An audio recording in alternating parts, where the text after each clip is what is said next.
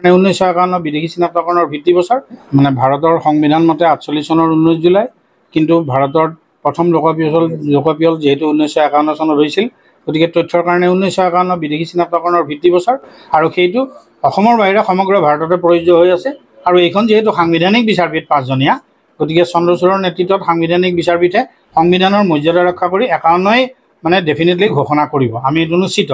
কিন্তু অসমৰ কাৰণে এটা বৰ দুৰ্ভাগ্যৰ কথা যে আমাৰ এই মানে আছু অসম গণ পৰিষদ আৰু অসম সাহিত্য সভা এই তিনিটা সংগঠনে এসত্তৰলৈ বিদেশী ৰাখিম বুলি এতিয়াও মানে বাহু দাঙি মানে চিঞৰি আছে আৰু ছুপ্ৰিম কোৰ্টতো মানে তেওঁলোকে এফিডেভিট দি থৈছে। এইটো অসমৰ ৰাইজে এইসকলক চিনি থোৱা ভাল। চাওক অসমৰ ৰাইজ যে শ্বহীদ হৈছিল ঊনৈছশ একাৱন্নৰ ভিত্তিত। নিৰ্যাতন খাইছিলোঁ আমি মই নিজেও জেল জৰিমনা খোৱা মানুহ এখেতসকলো জেল জৰিমনা খোৱা মানুহ। আমি চববিলাক একাৱন্নৰ ভিত্তিত আমি মাৰ খাই মৰিছিলোঁ। তেতিয়াহ'লে কি কাৰণত মানে এসত্তৰলৈ বিদেশী ৰাখিব পাৰে? বাংলাদেশৰ স্বাধীনতাৰ যুদ্ধৰ তাৰিখ আৰু আটাইতকৈ ডাঙৰ কথা সৰ্বানন্দ সোণোৱালে যেতিয়া আই এম ডি টি আইন বাতিলৰ কাৰণে যিটো গোচৰ তৰিছিল তাত মানে ছুপ্ৰিম কোৰ্টে কি কৈছে? এইটো আমি কোৱা নাই। ছুপ্ৰিম কোৰ্টে কৈছে মানে বিদেশীৰ যিটো আগ্ৰাসন অসমলৈ সেইটো কৈছে চাইলেণ্ট এগ্ৰেছৰ এগ্ৰেছৰবিলাকক ইয়াত ৰাখিব পাৰি জানো? হে অসমৰ ৰাইজ আপোনালোকে বিবেচনা কৰক। যে শত্ৰুক কেনেকৈ লাই দি শত্ৰুক বুকুতে ৰাখি আমাৰ খিলঞ্জীয়াক মাৰিবৰ কাৰণে চেষ্টা চলাই আছে এই সংগঠনবোৰে।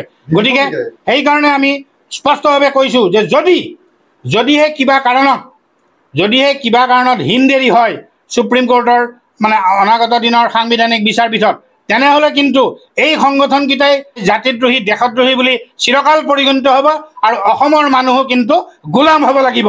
গতিকে অসমৰ ৰাইজে যদি ভাবে যে আমি গোলাম নহওঁ আমি এখন স্বাধীন দেশৰ নাগৰিক আছিলোঁ আমি মানে ইণ্ডিপেণ্ডেণ্ট কাণ্ট্ৰিৰ মানুহ গতিকে আমাক আমাৰ স্বাধীনতা মৰ্যাদা সকলো লাগে। তেতিয়াহ'লে হে অসমৰ জনগণ আপোনালোকে বিভিন্ন অঞ্চলত সভা পাতি এতিয়াও সময় আছে।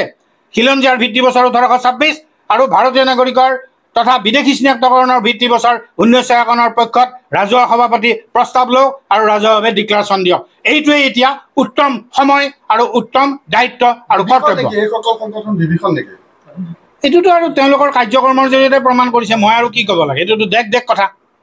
এগ্ৰেছৰ এগ্ৰেছৰক ছাপৰ্ট কৰে নেকি? পৃথিৱীত ক'ৰবাত মানে তেনেকৈ বিদেশীক ছাপৰ্ট কৰা দেশ আছে জানো? নাই।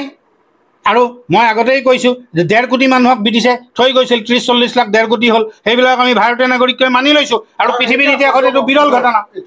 তাৰপিছত আমি কেনেকৈ মানুহ ৰাখিব পাৰোঁ? আৰু কৈছে ইণ্টাৰনেল চাইলেণ্ট এগ্ৰেছৰবিলাকক মানে এই অসমত এসত্তৰলৈ নাগৰিকপঞ্জীত নাম ভৰাব লাগে সিহঁতক মানে ইয়াত ৰাখিব লাগে ভোটাৰ তালিকাত নাম ভৰাব লাগে বুলি আছু অগপ আৰু সাহিত্য সভাই কোৱাটো হাণ্ড্ৰেড পাৰ্চেণ্ট এতিয়াও দপদপাই আছে বিদেশী ৰাখিম বুলি। কিন্তু মই জানো যে অসমৰ কোনো খিলঞ্জীয়া কোনো মানুহে কোনো বিদেশীক আশ্ৰয় নিদিয়ে নাৰাখে।